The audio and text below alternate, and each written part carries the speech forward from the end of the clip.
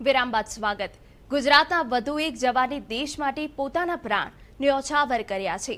ખેડાના કપડવંજના વણજારિયા ગામના વતની હરીશ પરમાર આતંકીઓ સાથેની અથડામણમાં શહીદ થયા છે. જમ્મુ કાશ્મીરના પૂંછ સેક્ટરમાં હરીશ પરમારની આતંકીઓ સાથે અથડામણ સર્જાઈ હતી, જેમાં દેશની રક્ષા કરતા કરતા હરીશ પરમારે શહીદી વહોરી હતી.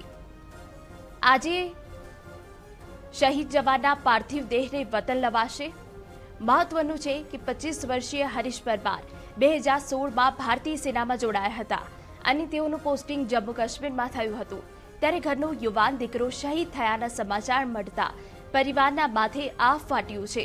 તો પચીસોની વસ્તી ધરાવતું વણઝારિયા ગામ શોકમગ્ન બન્યું.